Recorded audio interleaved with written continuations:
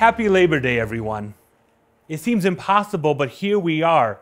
On this unofficial end of summer, we take time every day this week to reflect on the labor of the Lord, to be busy about His work. And we'll walk through different ways that we can be busy about God's work in different circumstances. But we have to start at the beginning. And we can pour out of an empty bucket. We can give what we don't have. And how is our heart filled with God's grace? And that's just another word for His very life through the sacraments.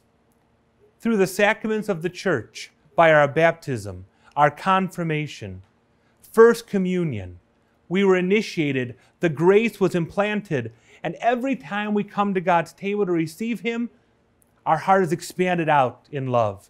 Every time we come to the confessional and know that healing and saving mercy, that we can start afresh, our hearts expanded in love.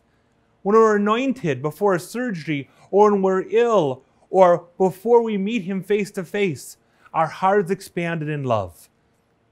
If we're married, in that sacrament of service, our hearts expanded in love to guide our spouse to heaven. And for those of us who are ordained, our heart is expanded in love to labor about the things of God in a unique way. The sacraments give us the fuel, if you will, to do God's work.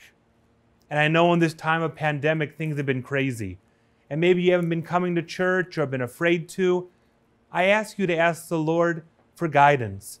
Maybe it's time to come back to church.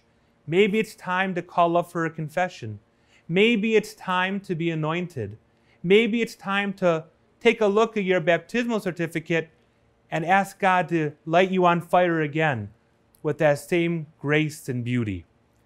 The sacraments help us fill the tank to do God's work for all of us are empowered to do wonderful things to build up his kingdom on earth as it is in heaven.